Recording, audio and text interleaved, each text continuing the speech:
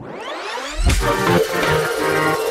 Friend दोस्तों स्वागत है आपका हमारे चैनल पर। आपके फेवरेट सीरियल साथ निभाना साथिया में कहना की चालाकी बचाए कि आज आनंद की जान। जी हाँ दोस्तों, आनंद को उन गुंडों ने वापस उठा लिया है और वो सागर के कहने पर उसे वापस वहीं पर किडनैप करके रखते हैं। तो दूसरी तरफ़ गहना को पता चल चुका है कि आनंद की जान खतरे में है और वो कैसे भी कृष्णा के साथ मिलकर सागर का मोबाइल ढूंढना चाहती है ताकि सारी सच्चाई सामने आ जाए और वो अनंत की मदद कर सके और उस गुंडे के नंबर ले सके। तो वहीं अब सागर को किसी बहाने से कृष्णा नीचे लेकर जाता है कि मेहंदी की रस्म होने वाली है, तुम्हें सब लोग लड़कियाँ इंतज़ार कर रही है नीचे, और सागर को ले जाता है नीचे, और पीछे से गहना आती है, और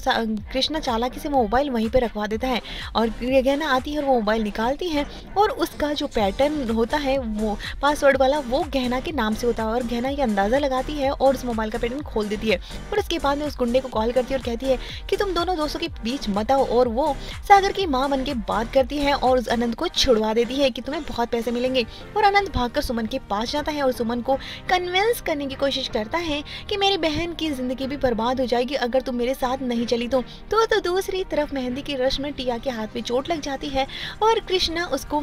साथ देते नज़र आता है उसको मलम लगाता है बर्फ़ लगाता है हाथ पर और उसकी काफ़ी केयर करता है। तो वहीं भवानी पैसे ऐटने की कोशिश करती है का सागर की मॉम से ताकि वो उन रस्मों के बहाने से उसे पैसे ऐट सके लेकिन गहना बड़ी चालाकी से वो पैसे वापस बाको दिला देती है। और उसके बाद में दिखाया जाता है कि भवानी का की उससे काफ़ी नाराज़ हो जाती है। तो वहीं अब सुमन तैयार हो जाती है वापस इस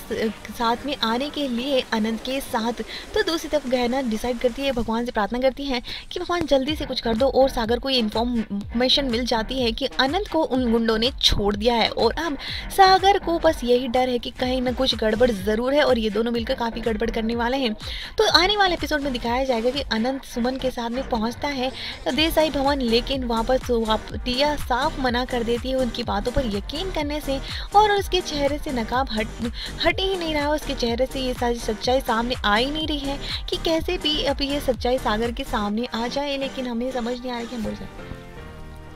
लेकिन टिया इस बात को मानने को तैयार ही नहीं होती है कि सागर की गलती है और वो इस बात से भड़क जाती है अनंत और गहना पर कि वो सागर को गलत समझ रहे हैं। अब यहाँ पर सागर का ही मोबाइल ही गहना के द्वारा सारी सच्चाई गहना सामने लेकर आएगी और वो भी सागर के मोबाइल से जो कि सारी सच्चाई उगलेगा। देखना इंटरेस्टिंग होगा कि टिया के सामने जब सच्चाई आएगी तो सागर का क्या हाल होने वाला है।